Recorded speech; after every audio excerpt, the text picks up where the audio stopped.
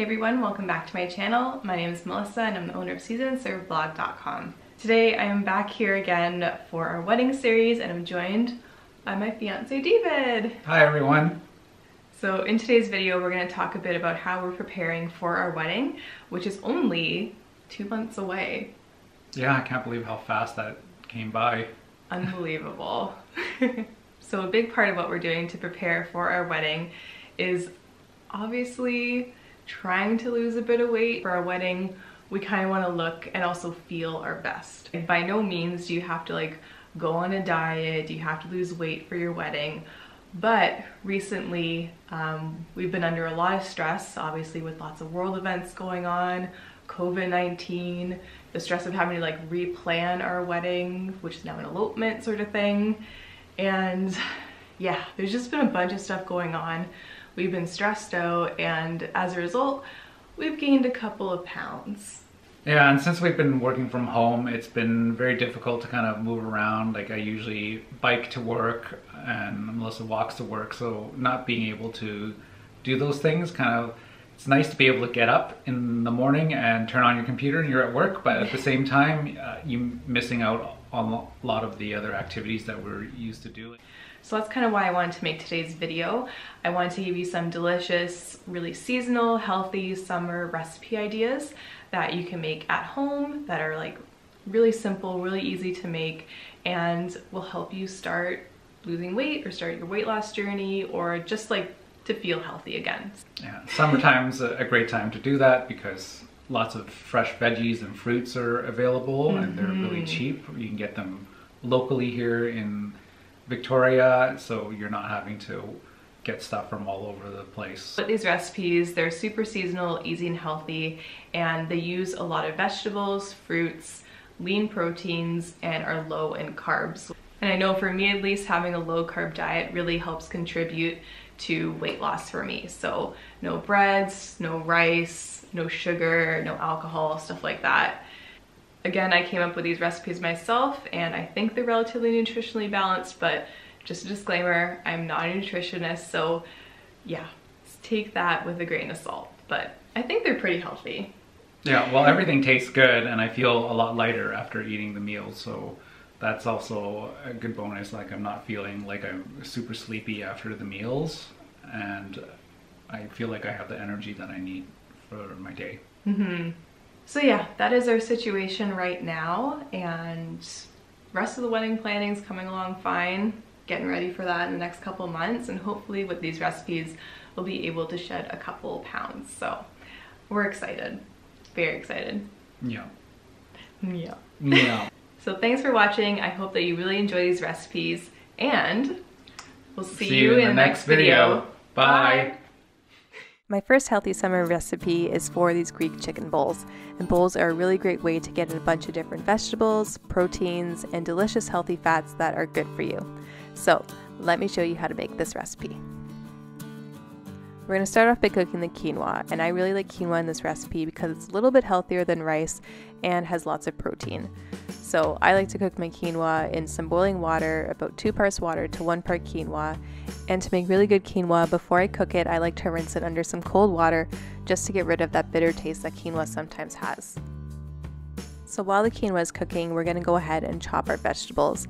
And here I like to use all the vegetables that are typical of a Greek salad. So here you can see me cutting up some fresh tomatoes, and I'm also using some beautiful cucumbers. And if you can believe it, we actually grew this cucumber in our garden, and I can't believe how beautiful and green it is. And next we're going to slice up some feta cheese.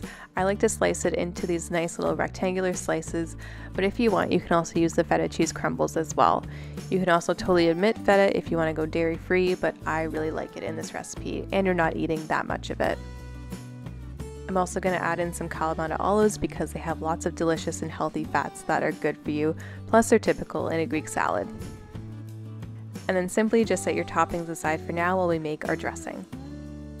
This Greek dressing is super easy and has a lot of delicious flavor.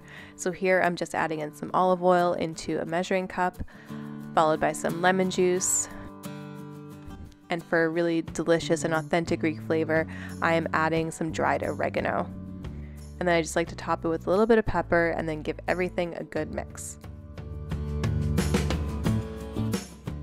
And once everything is combined, just set the dressing aside for now while we cook our chicken. To cook the chicken, I'm just going to fry it in a frying pan with a little bit of olive oil. And I like to cut the chicken into cubes just so that they're easier to eat in the bowl. I also like to season the chicken with some more dried oregano and some salt and pepper to taste. For a little bit of extra flavor, I also like to add a squeeze of fresh lemon juice at the end of the cooking process to give the chicken a little bit more flavor. To assemble the bowls, add the quinoa to the bottom of the bowl, followed by the chicken, and then add all of your vegetable toppings on top. So here I'm adding the cucumbers, also adding in the tomatoes, and I love lots of tomatoes, so I like to put extra in my bowl. I also add in the feta cheese here, I'm just doing two slices, and a nice big generous handful of the Kalamata olives. And for a little bit of extra protein, I'm going to add a dollop of Greek yogurt on top of the Greek chicken bowl. Totally optional though, if you don't like yogurt, you don't have to add it here. And then to finish off the bowl, I'm going to add a drizzle of the beautiful dressing that we made, and then just add a little bit of chopped fresh parsley on top for garnish. And there you have it, my recipe for my Greek chicken bowl.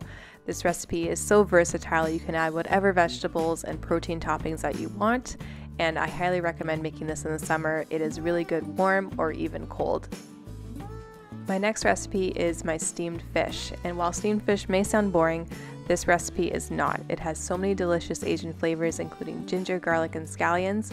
It is absolutely amazing. For this recipe, you'll need a piece of white fish, and here I am using haddock. I simply just place the haddock on the plate and set it aside while I prepare the rest of my ingredients. Here I'm chopping up some ginger and I like to slice it into thin matchsticks. Once your ginger is chopped, set it aside and then chop up some fresh garlic. Here I like to use about 3 cloves of garlic. You can go more or less if you like, but for me, I really like garlic and 3 cloves is the perfect amount for me. And don't forget, all the full directions and measurements will be on my blog, and the links to all the recipes in this video will be in the description box below. And once your garlic is chopped, go ahead and set it aside and then chop up some scallions. These scallions are absolutely huge, they're from our garden, so I like to cut them on a bias here. And now it's time to dress the fish. So add the matchsticks of ginger on top of the fish, followed by the sliced garlic, and then a splash of soy sauce. And the soy sauce is really great here. It flavors the fish and starts off the delicious sauce that it gets when it steams. And now it's time to cook the fish and I'm going to steam it. And I'm using a wok setup here where I have some boiling water on the bottom and a little tray to hold my plate of fish on top. You can also just do this in a pan without the plate and it should also work as well. You'll want to cover the fish so that it steams properly and it cooks in about 5 minutes. It really depends on how thick the fish is, but partway through cooking I like to add on the scallions just so they kind of tenderize and I like to toss in a little bit of fresh lettuce to steam in there as well for some vegetables. So, once all your veggies and scallions are added in, cover the lid and steam it for another few minutes until the lettuce and the scallions have wilted. And then carefully remove the plate from the steamer and go ahead and serve it while it's still warm. The steamed fish recipe is super flavorful, nutritious, and surprisingly very filling, so I highly recommend that you try out this recipe. And my next healthy summer recipe is this bruschetta chicken. And this recipe is really great for when you're craving Italian food and it uses beautiful, fresh, ripe tomatoes that are in season right now. This recipe is super protein packed and has no bread involved like regular bruschetta. So let me show you how to make it. We'll start off by making the bruschetta topping, and this is the exact same way that you would make regular bruschetta. You want to finely chop some fresh basil and add it into a mixing bowl along with some finely chopped parsley. You also want to make sure that you finely chop your garlic because you don't want to bite into a big raw piece of garlic when you're eating the bruschetta chicken. Next, I like to chop up some vine ripened tomatoes, and I absolutely love these in the summer because they're super flavorful and they are so deliciously juicy. Once your tomatoes are chopped up, add them to the bowl with the rest of the herbs and the garlic, and add a little bit of salt, pepper, and olive oil. And give everything a mix, and then set the bruschetta aside for now. Next, we're going to cook our chicken. So add a little bit of olive oil to a pan and then add your chicken breast. Cook them for about 3 to 4 minutes per side until they're golden brown and cooked through. Once they're cooked through, you can top them with a little bit of shredded mozzarella cheese. And do this while the pan is still on low heat so that the cheese has the chance to melt. Then for a bit more flavor, you can add a little bit of the bruschetta juice into there and the juice from the tomatoes and the garlic and all the herbs kind of cooks down and becomes really concentrated and flavors the chicken a lot. So this is a really, really great step and I highly recommend that you guys do this. Next, cover the chicken to let the cheese melt, and then once all the cheese is melted and the tomato juice is nice and concentrated, you can just remove it from the pan and place it onto a serving plate. While the chicken is still warm, top it with that delicious bruschetta topping. And there you have it, my bruschetta chicken recipe. This is a really great healthy recipe to make for when you're craving Italian food, and it's super refreshing in the summertime. And for my final healthy summer recipe, I have barely a recipe for raspberry sorbet. This is super refreshing, tangy, and delicious, and will curb any sweet tooth craving. All you need for this recipe is simply a frozen bag of raspberries, and that's it. All you do is just pop them inside your blender, and I have a Vitamix here, but if you have like a NutriBullet or like a small sort of blender like that, it'll also work in that too. If you have the Vitamix, put it on the frozen setting, and then just blend away. You do have to pulse it a little bit and use the tamper to push all the frozen raspberries down, but it basically just pulverizes the raspberries and turns it into a beautiful raspberry sorbet. I also make this recipe with some frozen strawberries and I'll add a little bit of lemon juice and some mint. That is also a super great variation on this recipe as well. And after just a few minutes of blending, you can take the lid off and you have this beautiful raspberry sorbet. It is super smooth and scoopable and is absolutely perfect. And once it's done, you can just scoop it into little serving cups and garnish with a sprig of mint. This raspberry sorbet is super refreshing on a hot summer's day and is 100% fruit, so it's super healthy for you. And there you have it, four delicious, easy, and healthy summer recipe ideas. Let me know in the comments box below which recipe you want to make first, and don't forget all the full instructions and measurements are linked in the description box below. Thanks for watching, and I'll see you in my next video.